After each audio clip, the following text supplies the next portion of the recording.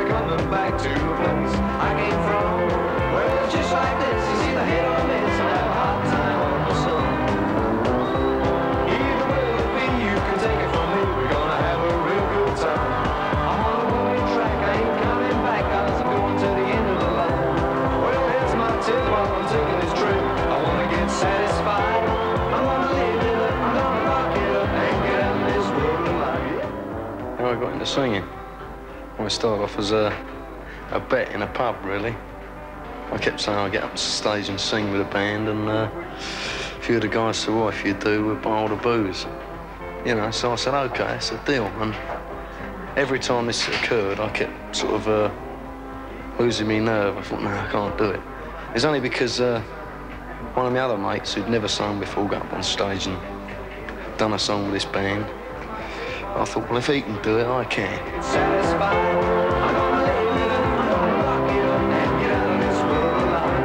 So I got up, I was shaking like a leaf, and I got like, sort of done the song. That's Blue Suede Shoes, I think it was, funny enough. And uh, like from there, I met people in other bands, and I just kept jumping up with different bands on stage. So we went from there. Know, eventually, I formed my own band.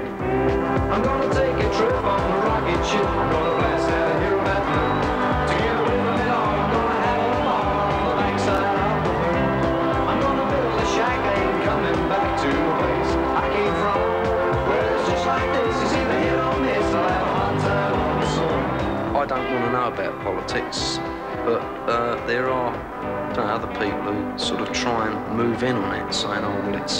Political view of it, you know.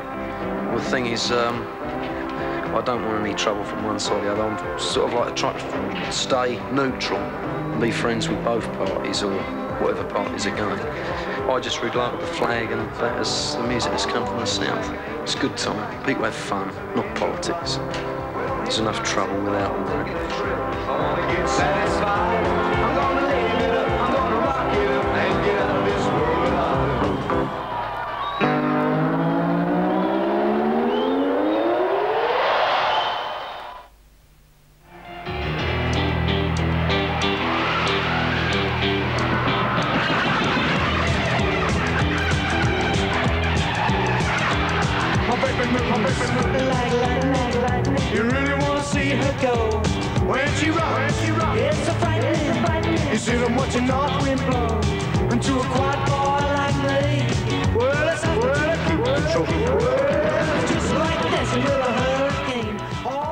My name's Boogie Dell, and uh, I run a record store in Wembley.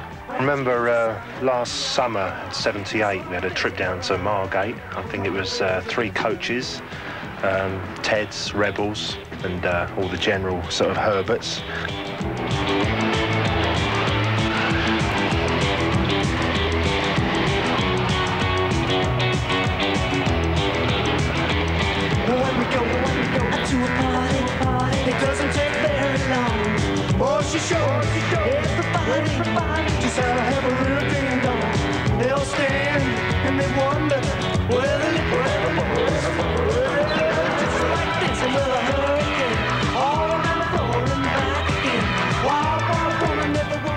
Uh, two or three trips a year. I think the one before that was Brighton, and the one before that was Southsea, all very successful.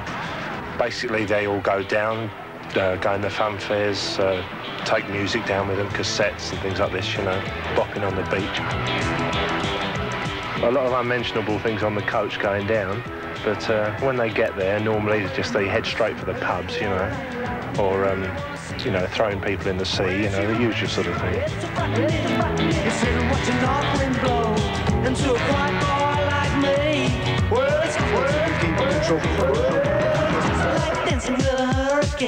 All around the floor and back So they again. just suddenly come on in the past sort of year, you know, this uh, rebel idea that used to be just Teddy Boys and rockers. Never used to be rockabilly rebels or any of this, you know. Rockabilly um, came from the south, southern states of America. And so they just distinguished the southern sound with the uh, Confederate flag.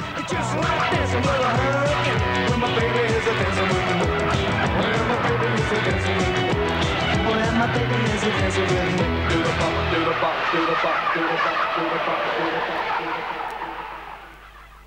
the in the rock and roll scene, you get a lot of uh, children do follow their parents because they love rock and roll.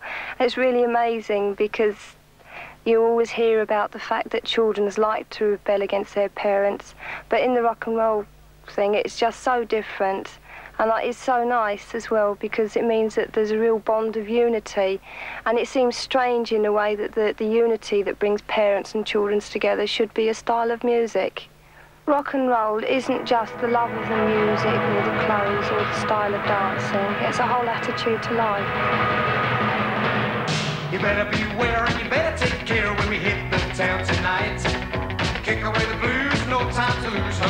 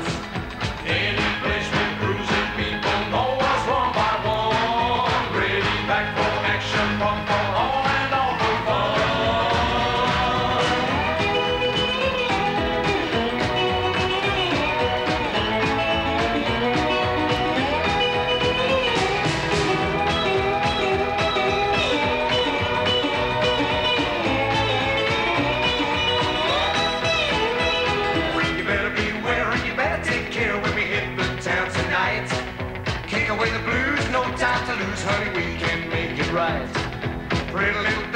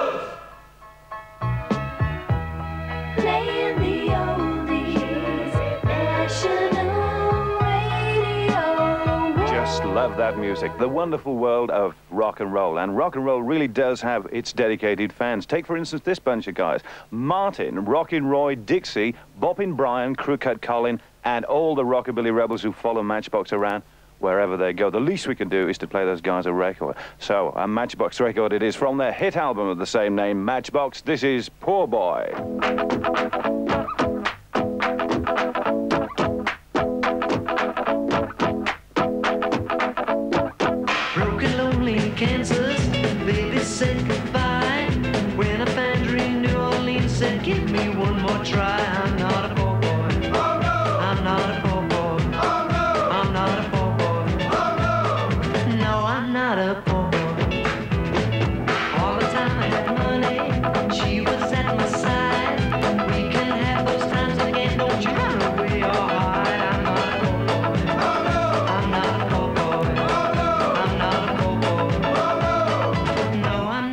It's really a funny thing because a lot of people ask me where rockabilly came from, and it's quite an old music. It kicked off in the early 50s with uh, the roots of Hank Williams. In fact, if Hank Williams had even lived a bit longer, it might have started that much earlier. But of course, Elvis by 1954 kicked the whole thing off, and then it erupted for about 18 months as a commercial proposition. And then rock and roll took it into its mainstream, and it sort of dissolved, uh, ooh, for about 15 years or so it dissolved. And then along came these British bands with a view to cre- recreating, if you like, the original Sun sound, and it was a mere springboard to uh, new songs coming along. Steve Bloomfield of Matchbox was writing great stuff and using the old style sun slapping bass and so on. And it became a new proposition entirely. And by 1980, we're into an era of a, a second generation of rockabilly fans, if you like.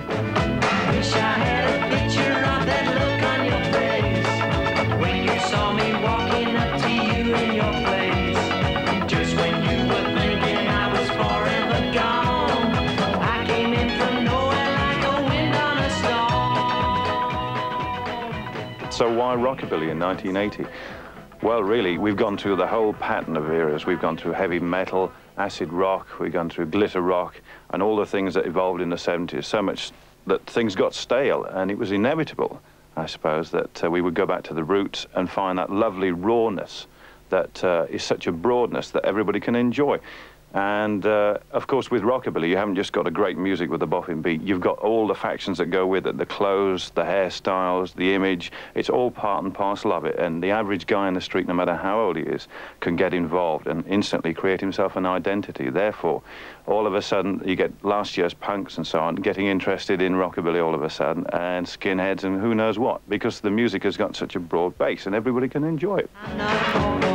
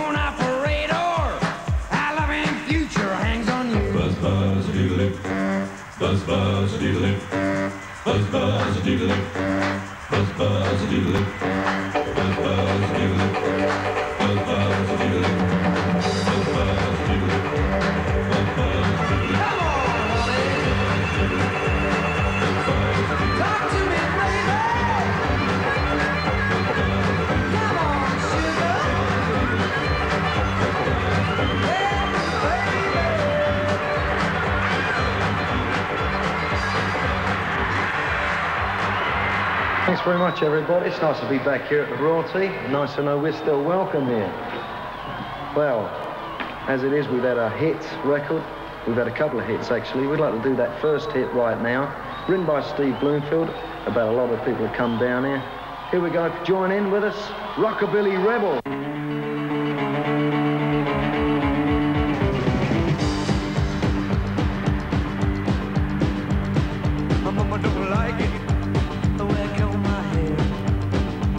Like it the I'm crazy